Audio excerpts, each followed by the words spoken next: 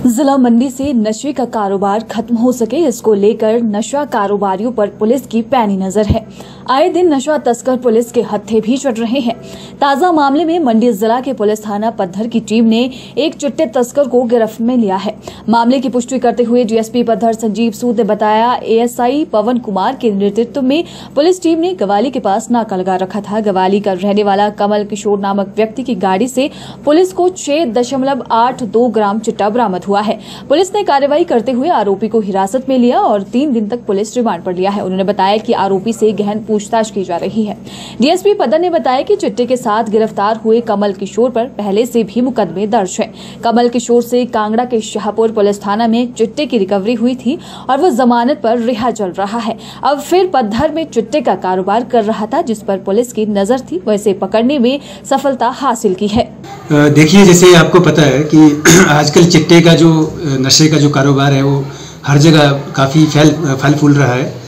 तो उससे नशे के जो कारोबारी हैं, उनके ऊपर पुलिस के द्वारा जो है लगातार लगाम जो है कसी जा रही है। इसी अभियान के अंतर्गत जो हमारे एसपी मंडी मैडम हैं, उनके भी निर्देश हमें समय समय पर मिलते रहते हैं। और उनके निर्देश के मुताबिक जो था वो पुलिस थाना पद्र की टीम जो एएसआई पवन कुमार के नेतृत्व में उन्होंने नाका जो था गाड़ी के पास लगा रखा था। तो वहाँ पर एक कमल किशोर नाम का व्यक्ति जो है, जो कि ग्वाली का ही रहने वाला है, ये अपनी गाड़ी में जा रहा था और इसको नाके के दौरान चेक किया गया, जो इसके पास छः पॉइंट बासी ग्राम चिट्टा जो है वो बरामद हुआ है। इसमें हमने मुकदमा नियमानुसार दर्ज कर लिया है और इस व्यक्ति की गिरफ्तारी भी हो गई है और अभी तीन दिन का पुलिस रिमांड जो है वो हासिल किया गया है।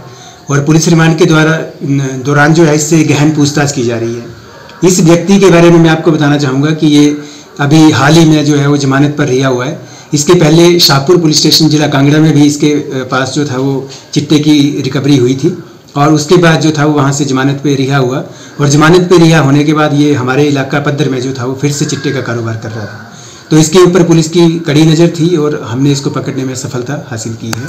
और अभी हम पता लगा रहे हैं कि इसके साथ अन्य कौन कौन व्यक्ति जो हैं उसमें स्लिप्त हैं।